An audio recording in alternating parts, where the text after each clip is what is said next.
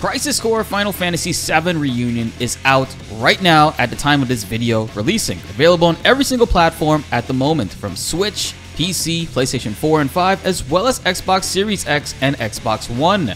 However, if you want to win a free copy, feel free to join our giveaway we're doing right now. It actually ends today. All you need to do is become a subscriber on the channel and follow us on Twitter. Winner gets to choose which platform they get the game for. Now, thanks to Square Enix, I've had this game for quite some time now, and with that time, I came across some things I feel like you guys need to know if you're trying to get yourselves into Crisis Core Reunion. I promise it's going to help you all enjoy the game much more than ever, and with that being said, let's get into the video. The very first thing you guys need to know is a warning. Upon your first playthrough of Crisis Core, hard mode is available to play from the beginning, and it is amazing. Hard mode actually feels very good and forces you to get better with the game. However, there is one major flaw with hard mode being available from the beginning. When you get to chapter 9 and the later portions of Crisis Core's story, while playing hard mode on your very first playthrough, the bosses and enemies scale up ridiculously high with HP and damage. And on your first playthrough, even with grinding levels, it can be still frustrating to deal with, but it's not impossible to win. However, just be aware of this incredibly massive boss health and damage increase when you get to the later chapters. Once you get to about chapter 8 and higher, it's pretty damn annoying. I don't blame you if you play chapters 1 through 9 on hard mode and switch to normal towards the end. Seriously, it's stupid bad and fights go on for over 30 minutes. That's totally unnecessary. Comment below if you experienced this as well. It's not necessarily that it makes the game harder, the enemies are still really easy to dodge around and clap their cheeks. It's just the fights take way longer because you just physically cannot output enough damage to kill them as quickly as you should. So yes, again, beware.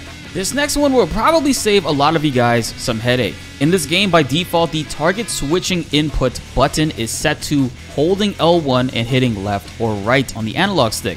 This can get very awkward for some, but don't worry, in the options, you can actually go to controller settings and switch that to simply pressing left or right on the D-pad without having to hold L1 which is very similar to Final Fantasy VII Remake. But also, while you are here in this menu, feel free to change the controller scheme up to best fit your preference. Whatever works best for you, that's the way to go for it. This next tip is explained very early on in the game's very own tip menu, but a lot of players will skip it like I did.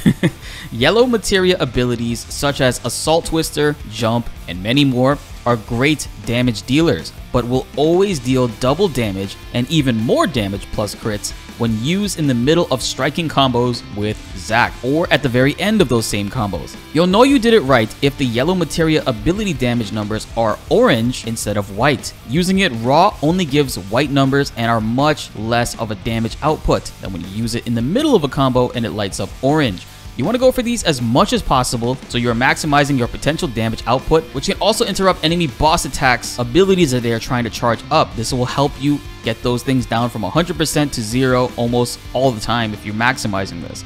Now that you know this, please remember when you watch my Let's Play of Crisis Core, I swear I wish I paid more attention to this early on. It's super important. I didn't start using it until the end of the game. Hit that like button if you found this helpful so far. Let's get this video to over a thousand likes to help others find it who may be new to Crisis Core and get these godlike tips in their way. Next tip, don't grind missions until chapter 4 or afterwards of chapter 4. In the beginning of the game, you get access to missions, but they really are not worth doing until about chapter 4. The reason why is because in Chapter 4 you get access to the Mission 7-2, Precious Items. These missions reward you with some seriously important stuff, but you can get the Item Fusion Tome, which allows you to insert items into your Materia Fusion to make the fusion even stronger. And not only that, you can also get a keychain, which allows Zack to now equip three pieces of gear instead of only two. And then finally, the backpack as well, which allows Zack to wear 4 pieces of gear instead of 2 or 3 previously. This way you can maximize your defenses or damage and wear a lot of great gear. And from here, you now have access to a lot of missions. And of course, you can't do everything in the game just yet. You still have to find various missions around the game in later chapters. But this is a great point to start grinding and start getting those missions knocked out. Now, this next tip I'm going to go more in depth with when it comes to our combat guide, which will be coming out later, but you can cancel Zack's combo strikes and various moves with the R1 block button. Doing this allows you to quickly start up another attack rather than waiting for the end lag animation.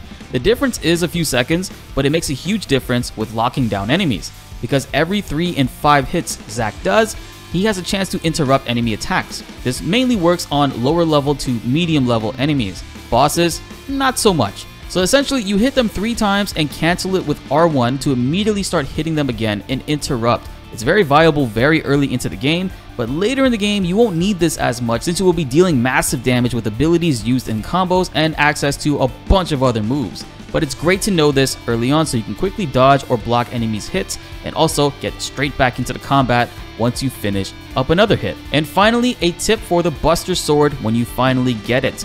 You unlock a new stance which guards and reduces incoming damage. While in this stance, Zack can do a 2-hit combo which has a high chance and always seems to interrupt enemy attacks. This attack is simply called Strong Attack and you initiate it by pressing square after you go into the stance by pressing square X, go into the stance, and then press square to initiate this attack. The first hit is a cleave that hits a bunch of enemies around Zack and the last one is a heavy slash that will interrupt enemies. The major thing however is weapon proficiency. With the Buster Sword, you can go into this new stance by pressing square and X to initiate it. While in that stance, any abilities that you use in that mode or regular attacks with the Buster Sword with that stance will raise the proficiency percentage.